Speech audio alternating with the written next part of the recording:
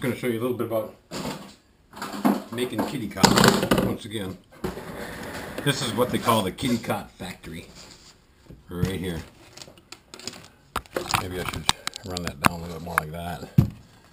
These are my wires. I get these by the hundreds. They're not cheap.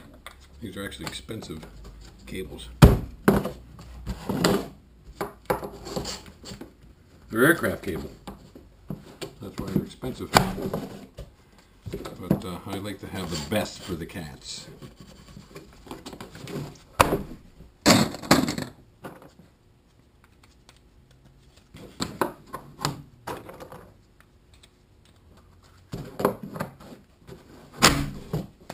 See how that goes? Pretty cool, pretty cool.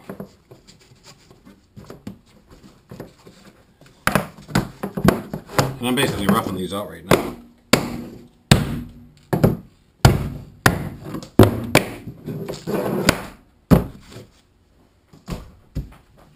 And you can see a lot of this fabric is uh, multicolored. It's actually a very cool fabric. It's like a Textilene, but it's not Textilene. It's plastic coated. Uh, it's kind of a nylon mesh.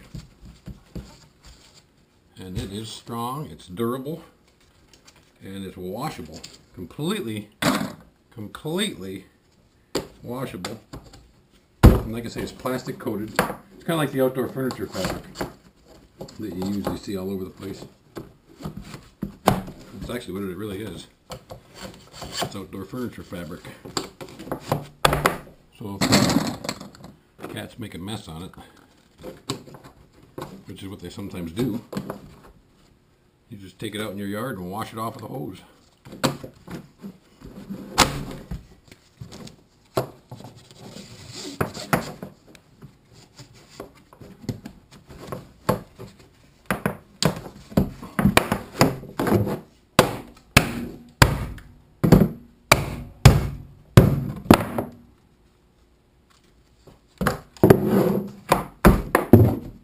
Get them to lay flat, just keep stacking them, just like that.